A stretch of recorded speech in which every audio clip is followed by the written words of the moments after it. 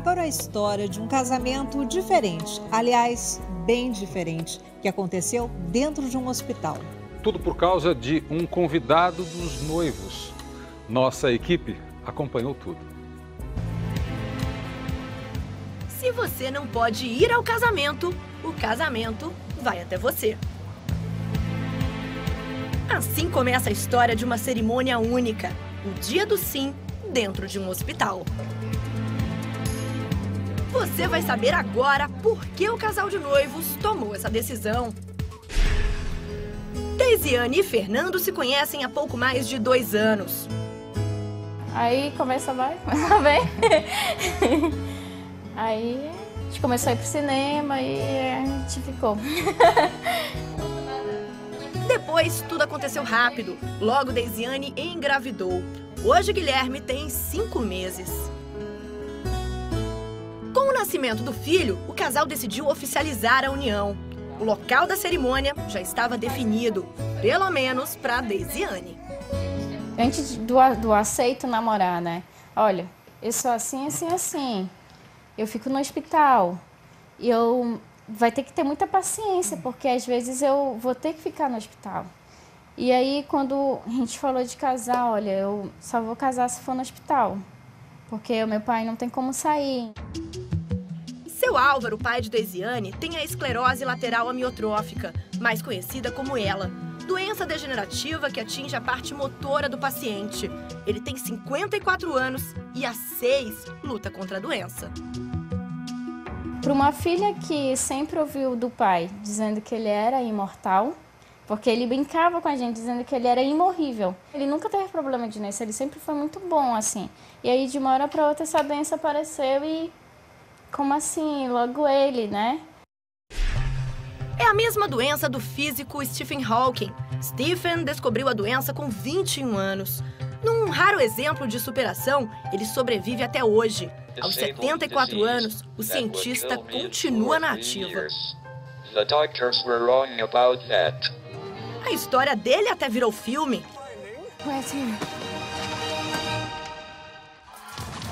A esclerose também ficou conhecida depois da campanha internacional O Desafio do Gelo. Anônimos e famosos logo abraçaram a causa.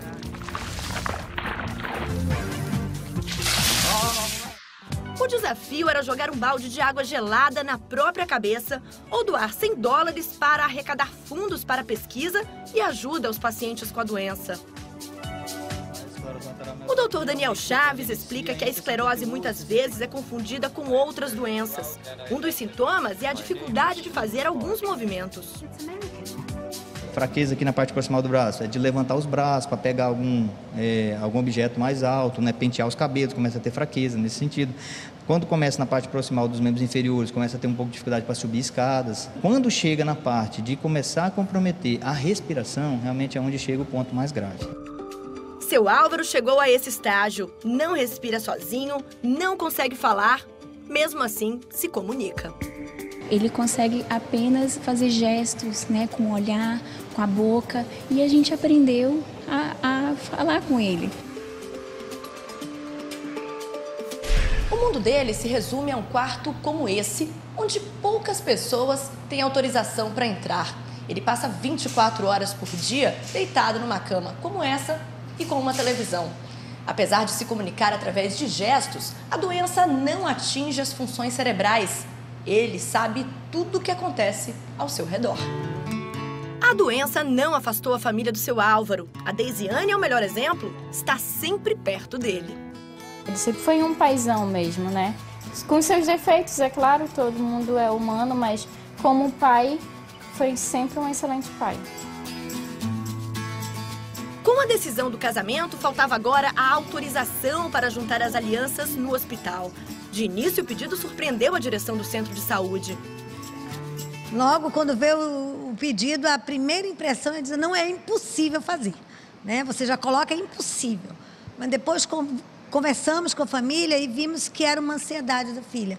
Ela não se casaria se isso não acontecesse. Com o sim do hospital, o planejamento começou. Foram meses de preparativos, até que o grande dia chegou. Uma sala de estudos do hospital se transformou em salão de festas. E como toda festa, não poderiam faltar salgadinhos, o bolo. Apenas 20 pessoas puderam ser convidadas, mas estavam ali parentes, amigos dos noivos e do seu Álvaro. Todo mundo emocionado com a homenagem de Deisiane, que trocou o altar pelo hospital. Eu tinha essa ideia de casar com a presença do pai. E graças a Deus ele ainda está vivo, ainda está aqui, né? O maior presente que a noiva queria receber. A alegria de poder tê-lo presente, né? Que é um momento único tanto para a filha como para o pai, né? De participar do casamento. Alegria, lágrimas de emoção. Imagina então a Dona Maria, esposa de seu Álvaro, mãe da Deisiane. Não tem como explicar, né? É, um, é, um, é uma euforia de sentimentos né? de estar tá casando uma filha e que Deus deu a graça do pai estar tá vivo, né? Eu acho que isso não tem preço. Seu Álvaro ainda teve mais uma surpresa. Conheceu o Guilherme, o neto mais novo, ali, no corredor do hospital.